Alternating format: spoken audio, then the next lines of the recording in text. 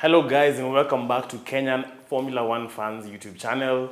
We are back here for the Italian Grand Prix, and uh, today Beata is not around, but I brought you guys an assortment of guests. So I'm just gonna let them introduce themselves. Mutune Red Bull Max Verstappen fan, Ah. and that's why I'm this happy to be here.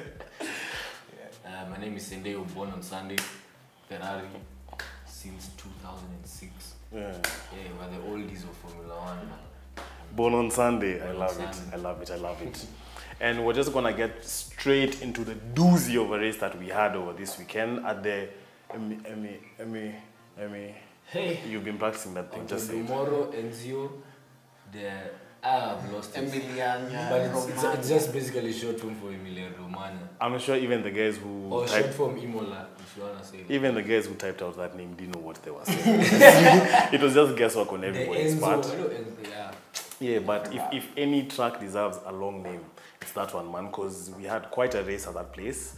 It was the first sprint race, the first sprint qualifying that we had of the season. Yeah. And actually, correct me, it's, a, it's a called a sprint, a sprint, not a sprint qualifying. We have the qualifying, we have the sprint, and we have the race. And it was quite an amazing, it was quite an amazing event, man. Uh, where do we start? We start with the qualifying. Quali, let's start with Quali. Quali was interesting, it was wet. Anyway,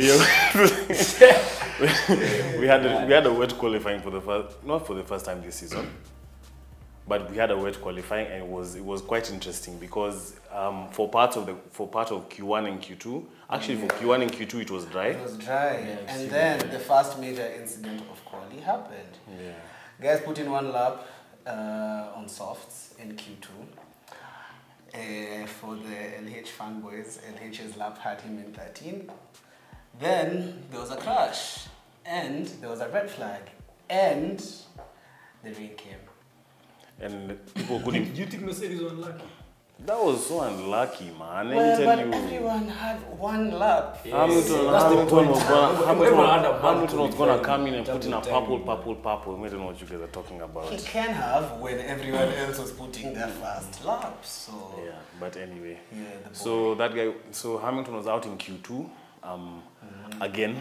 And other notice notable exits in Q2. Sorry. It's the fact that he said again is for you to just notice. Last time he was out in Q1. Last time he was out in. Q1. It's improvement. Progress, progress, it's improvement. progress. improvement. Also, Guan Yu Zhou and Mick Schumacher had really good pace, Mm. like in in Q2, and then the rain came and yeah, messed their chances for both of them getting their first Q3 appearances. I think this season, this season, all Ferrari power plant cars have just been on a roll because the Haas out of nowhere is suddenly looking like a quick car, especially in qualifying. Alfa Romeo with Alfa Romeo with Bottas is just killing everything, hunting down George Russell during the race. You know, it's a really good car. But So apparently, it was- Haas having they're being investigated for having the same exact car as Ferrari. So it's, a point at where it's white Ferrari. it's a white Ferrari. It's a white Ferrari apparently. Yeah, but I, I think I think I think it's just you know when a car is too fast, that's when guys start. If it was slow, No Yeah. one cares. if it was slow, nobody cares about Yeah. it. Nobody cares about it. It's, it's even albino like they need them for the investigation. Alpine are trying to they're trying to trying to see where they can sneak. Because those points. are the- Those are the right right hand competition. competition. It's a midfield Yeah. competition. It's a midfield competition. But of course, of course, for this race, the qualifying qualifying was important, yes. But the main thing was a sprint. And uh, after Q3, Verstappen Max came out on top. and Leclerc closely behind. And those two looking are looking more and more like the only title contenders for this season. Until Mercedes can get their car sorted out, until Carlos Sainz can get his qualifying in order, until they're the only people who are looking. They're the only people who are looking like they can they can go all the way. Checo Checo is alright. Checo is alright. Checo is a good teammate. Yeah. Checo, my guy, my guy, my guy. Checo is the Bottas of Red Bull. That's a painful title to have, but it's actually true. It's actually No, true. no, no. Bottas is a good driver. Man, stop. Yeah, they're all good drivers. And beyond that, now we had the sprint on Saturday. And uh, what do you guys take away from the sprint? Ooh, horrible start for Max. Leclerc took him into the first corner. Me, I can't get myself to say Leclerc, guys. I'm sorry. I'm sorry. I'm sorry. It's Charles Leclerc. I cannot. I Charles cannot. Leclerc. You say Leclerc. I don't know. I just got used to saying Leclerc. Oh, okay. I never even realized by the way. it's you who's just told me right now. Yeah, but Leclerc had him in the first corner. You know, I was pumped for that, man. But that sprint was actually quite boring, honestly. I- like I there was not say much that went on. It's a very Until, There was not much that went on. They- until, until and, uh, until yeah. my guy. Which, which is very surprising for me because I always thought like you know when the when the regulations came I thought like the sprint would feel like I watched like Formula Two like racing. Yeah, yeah. I thought the sprints would feel like that because in my mind I was saying like now the cars have less like distance between each other. Mm. The sprint would have been the best time for us to like see them overtake them as much, but it just didn't happen as much. I don't know it's because of the rain, but it's it's more exciting to watch them Yeah. because like even even for for Verstappen versus Leclerc in in the sprint race. yeah, Like proper. they were they were going they were going at it. Verstappen was on his was on his at his gearbox like for like yeah. four or five laps. Yeah. And it was like really really good racing and that's that's that was the point of the whole regulation. But the, you also have to consider that this this the Imola is a really hard track to overtake like generally. yeah, generally. yeah. So the wet conditions didn't help it. Um, the fact that the fact that you know the cars the cars that were battling at the front are slow, are so closely matched this season. yeah. You know, I, I was expecting I was expecting more to happen back there, like in the in the, and midfield. The midfield is what has ex- The midfield is been, supposed to be a lot more exciting. Has been, midfield has been crazy. midfield has been where the Been party is at, man. season. Know what. You know, but the midfield it was just there. Like I, I don't know. I can't say I really enjoyed the sprint race this season. Yeah. But for I mean for that race, but let's hopefully hopefully there's more exciting races coming. And where, where else are we having the sprint races? Not sure. Possibly Silverstone. Si- Silverstone. They had uh, one there last season. yeah, they had one, and that was that was a doozy. That was a nice one. Yeah. We don't have it in Miami. Interesting. I don't know. no, I don't think they're having. Yeah, Miami is just but going to I- be a normal It would be qualifying. interesting to have it. Like I'd Yeah. like to see like a sprint race in the middle of Miami. Yeah. It would be interesting. I don't think it'll happen. But Is Miami street? Is it a street circuit? It's, no, it's a circuit. Vegas is a street circuit. Yeah. Vegas is a street circuit, yeah, so that's going to be quite exciting. That's going to be lit. Yeah. Yeah, so after the sprint, of course, uh, our guy Max Verstappen came out on top. Charles Leclerc finished second, and uh, I, I feel like right now that's all everyone cares about. Everybody's just watching uh, those I don't think we people are not people are, like, Lando's Lando's achievement for that is very big because where McLaren said the season where they are now is so. I had. Lando Wow, in my horrible. fantasy team for the first First two and immediately after, Behind, man. out. Kwanzaa he was my turbo driver. Where? Yeah, so McLaren have come, they've come, they've come a long way with They their car, they have, honestly. they Except Ricciardo. Have. No, Ricciardo, Ricciardo is trying. He's not doing too badly. In in Australia, he had he was sixth position, which was not bad. I thought it was a personally. I thought him coming. I thought he'd be a Yes, I was laughing, but seriously, man, you know Ricciardo left Red Bull. You see how he left it with chest. You know, like he left and he was like, "Yo, you know, I'm leaving to win. I wanna be champion, champion." Bro, it's been a horrible In experience. his defense, in his defense, The last four years he has bad. more wins than Lando in the McLaren. Exactly. He won in the McLaren. he's Lando too- hasn't but won yet. con- inconsistent, man. The car, the car is not. Bruh, this guy was racing with Latifi just the other day at the back. Yeah, but he's coming to someone's house. That's Lando's. That's Lando's team right now. Even since Carlos Sainz left, it's been Lando's team. So it's not gonna be. The, the thing that's important for him is that he's improving and he's just trying to watch his gap to Lando and it's getting closer and closer. Last season there was a point where he was so off Lando's pace. Yeah. Like he was he was being he was five positions between him and him and Lando Norris. Ridiculously off. Yeah, so the fact that the fact that they're both like the the car is improving and you're seeing both of them their racing is improving. That's a, that's a, that's a good point for him. But Lando is a, I feel like he's a really underrated driver and guys are not. He's gonna Kalonzo everyone, man. Everybody will just be looking at everyone else. Then Lando just pulls up with maybe fourth. Replacement for Hamilton. Uh, I don't know. That's, George is doing a pretty good job at that already. But, Yeah, but if George. Hamilton leaves, they need another driver at one point. So that's be Yeah, someone. but That's be George- someone. bro, George, are you seeing are you seeing the drive from George? That's what I'm saying. For me personally, and I said this two years ago, yeah. For me, George is a better driver than Hamilton. Hey, In my eyes, hey, he's a better hey. driver than It's, it's, it's a, it's It's a, a big call. statement. It's a big statement, but I think he is. I generally think he is. I generally think he is. And yes, I won't lie to you. That he's for him to finish fourth in that car Mm. is But the whole season, the whole season so far, he's been out driving He's been out qualifying. Yeah, He's been out out- qualifying, yeah. out driving him. the Mr. Saturday, Mr. Saturday. Mr. Saturday, now he's also becoming Mr. Sunday. He said he doesn't want to be Mr. Saturday anymore. and even and even on Sunday, bro, he had such a good drive, man. He, he his start his start was electric, man. He had some good overtakes, overtaking cars faster than him, Yeah. purportedly. Yeah. Uh, he overtook he overtook Magnussen. Hold on. He was overtaking cars unlike his teammate. That was that's so unnecessary. That is so unnecessary. wow, wow, wow, wow, wow. and wow. and that and that's what everybody has been talking about because how how is your teammate how is your teammate finishing in fourth and you're stuck behind one car for the whole race But there's a question. Like, this is a question everyone, and I had to post to you guys by the way after that race. It's a very serious question for us to ask. Can Hamilton drive a, a car that's not as performing? As I can, the other drivers seem like they can. Even Bottas is pushing. Uh, his The- car. the Alfa Romeo. The Romeo. Alfa Romeo wasn't was barely anywhere next season, last season, man. Now he's finishing top ten consistently. Russell is finishing fourth.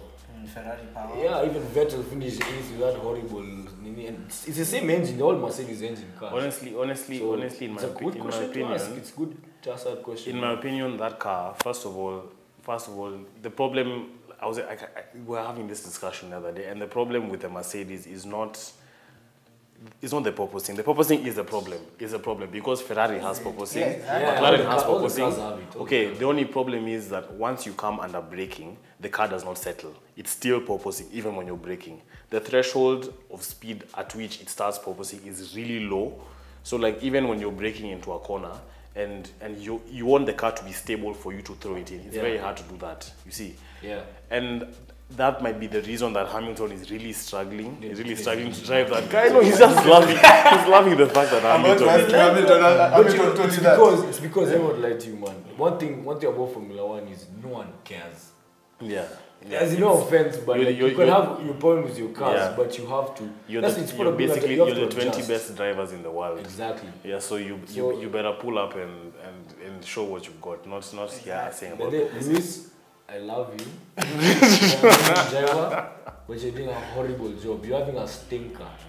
You're a He's gonna stinker, put it. bro. He's a seven-time world champion. So He was he didn't buy them at Quick Mart. you know, There's, there's, there's, there's a reason he's a seven-time for world those- champion. A seven-time world champion. So rough patch a little bit, but uh, yeah, Lewis come back. We love to see a black man winning. I don't see him finishing in the top five constructors.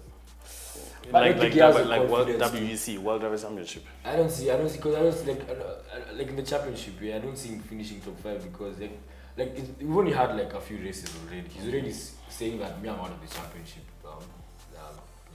Fight. But to be honest, It's it's even like- Toto who said that. Yeah. yeah, I, I get it, I get it, but like, hey, bro, like say this like a few races after, you know, like just show some confidence in yourself. But I feel Yeah, like what what what he was just getting at is right now their priority is to like figure out Mm. what's up with their car, how to get their car to perform, so that they can be in that conversation. And Yeah. at the moment, they're just not in the conversation. I think they should focus on next season. That's what I think. The season is not even halfway. I know it's not happening, but me I keep on saying. But you know the thing is, eh, I, It's don't- not I don't, halfway I, through the season. He's talking about next I don't season. see them fixing the car in time to compete. But they still need to my point. compete. They, they'll fix the car most likely in summer during the break. They'll fix the problems, but after they come back, I don't think they'll compete enough to finish at least top three. But let me tell you, Toto, listen, if you're watching this, listen, what you should do, what you should do, there's a sliding scale for CFD and for wind, wind tunnel hours, okay? Just leave it really low, just leave it really low so you get more time than all the top teams and we're gonna have a, we're gonna have a beef car next season. If they do that, let me tell you, you had it. here Toto, first. Toto, Toto, I- Toto, are you listening? I know listening? you're gonna watch this. Toto's gonna watch But- this, so definitely, yes, we have to do that. But uh, uh, just about even what you're saying, like Ferrari prepared for this season long ago. That's Yeah. why they have. where they You had nothing to I fight for don't last think- season. I don't think either of the drivers. You've had nothing to fight for for the last three seasons. You I had a know. lot of time. I know it's okay. Okay, can I talk about something I know you guys don't want to talk about? What? Did you guys see that overlap? Nah, but Formula One, you guessed did Hamilton dirty. How do you read that number? The 177, bro. That was unnecessary, man. This my boy. Eh? You know something you never even thought about? 77 is, is a number, it was Bottas' number before. What's it called? It's called- Martin Brundle. Martin Brundle, yeah. You want a nice man. but they were really loving it, man. Yeah, man. It was. It was a tough one. It was a tough one. Yeah, It's Max, hard to Max see. had a really lonely race, so it was nice for him to see his his old competition somewhere, you know, somewhere on the track, you know, you feel me? You feel me? Let me tell you, people, you, you need to take care of your co-hosts, man. You can't just be uh, emotional damage the whole time, man. the whole time, the whole time. Anyway, having Hamilton, Hamilton, we know we know he's gonna get better. Enough about that. I want to talk about Yuki Tsunoda because he had an amazing drive in the Alpha Tauri. I think he finished he finished P7. That was his highest finish this season, and he's really been struggling. He's really been struggling with the car. Even last season, you know, he, people are really hyped for him to come into Formula One because you know he's quite a talent, and we've not. we've- Mazepin Junior. yeah, Like, he was one of the brightest like talents in the Red Bull Yeah. Academy. For yeah, and so like it's really it's really nice to see him drive. He had he had some really good overtakes. Even overtook the the the the Haas, which you know like it's so interesting that this season we're talking about the Haas as like a notable overtake, especially for the midfield team. Thanks, Baba Mazepin. Um, but but Magnussen, one thing I have to say is I feel like like fast race is good, but they have to find a way of keeping that pace. Like I, I know that they're overachieving as well, but still, like it, they, they always qualify higher than where they finish every single mm. race.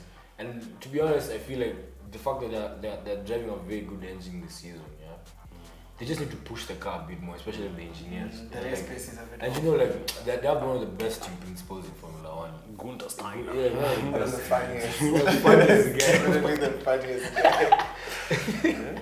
Yeah, they always say they get better, but yeah, he's a very good guy, man. So like, I hope they can push the car better as well. And what about his teammate, Mick Schumacher? Um, you know, it's, it's with Schumacher, it's just I don't know. Like I thought he'd do better this season. I'm having an issue with him not finishing consistently in the top ten, because like his teammate is showing like a crazy amount of consistency, especially in qualifying. I feel like he had such a low benchmark last season. He his, did. te- he His did. teammate was But the car was horrible, man. But still, like They were racing each other. now with a good now with a good car, he can't keep up with his teammates. And also, Sende, you know, Yeah. I think you're also forgetting that, uh, yeah, it's his second season in the game. K Mag has been in the game for time. So, yeah, he has the experience behind him and he's just able to exert more, to like Yeah. get more out of the car, you know, extract. But the, the thing is, you see, Formula One is so cutthroat if you think about it. Like, if you think about how um, Alfa Romeo were able to cut out Giovinazzi so he's still a young driver if you think about it. But like, he just never took his opportunity. And now he's out of Formula One now. So like, especially with the team that he's in, he's supposed to go to, he's supposed to end up at Ferrari at one point. So He was it's- it's- supposed to. He's supposed Mick. to, yeah, Mick is supposed to. But the same thing, the problem is, yeah, if he doesn't get Haas that car going quicker, he's definitely not gonna make it too. Because is still a young driver and Leclerc is still a young driver. Are you making He a shout? Are you making a shout for Magnussen as the next Ferrari driver? it. Wow, the, um, Inject no, it. no. I think, you know, I think that's gonna be their team for at least another five years. Which one? 'Cause They're, Uh, they're both young drivers, Like, not Haas. Um, Yeah. Ferrari. Ferrari those are the drivers. So I don't think anyone's. Yeah. I think Haas and Alfa Romeo might stay the same. Yeah. Definitely. I don't think But but someone someone now that you're talking about on the topic of Ferrari, Yeah. I feel like I feel like Carlos Carlos I really I'm really feeling for Carlos. Unlucky. He, was really unlucky with Yeah, the DNF. DNFs, I think, this Okay, the, the, the, like uh, this one last season, la- not last season, sorry, Last last, race, race, last yeah. race, it was it was his fault. For, he tried to overdrive. Yeah. In racing, it's called running out of talent. Yeah. so so like he ran out of talent, man, and just went off and had a DNF. But this race, it wasn't his fault. You know, even even in his interview, he was saying he tried to keep it, tried to keep it safe, tried to give Ricciardo space. Ricciardo had a lot of space, even especially Yeah, when that time. yeah. He had so much. I, Yeah, don't know, I don't know why he was so insistent on he it. got he got he got onto the curb understeered into into into Carlos Sainz, and it's so unlucky because this is this is the second time. But he's not he even had a won big bad start with Like he went behind the grid too quick. Yeah, He lost Yeah. so much time. Like I don't, like for me, Ferrari had a very bad start to the race. Genuinely, they had a And very I, it's also just not fair to like Yeah. blame Ricciardo for the accident because he didn't get a penalty for it, you know. So it was Yeah. just hard racing. It was he a needed, racing incident. He needed to, you know, stick, Also, stick he it didn't, he didn't get a penalty, but if you look at if you look at it from the back cameras, he, he had a lot of space. Just, just, space. just interview to be a marshal. To be next, next season, you go give him penalty. Ah, me, after what after what they did to Hamilton last season, I don't trust them. I didn't trust them. no, but the, with those race conditions, mistakes like that are bound to happen. Yeah. And and, and and definitely Carlos had tried to like kind of factor in the fact that oh he's wet and every he's wet and everything, and like I need to, I need to give this guy space. But the thing is, these things still happen. Only thing that's thing that's on his that, that I think is a benefit for him, even though he's having a few tough races. He has a new con- he got a new contract the other day, so he's, he's he's secured his drive until 2024 um, which means at least he's not he's not looking over his shoulder wondering are these guys gonna ask me you know is Yeah. is Mick Schumacher just gonna come in and am I going back to the house? How many more podiums do you think he can get?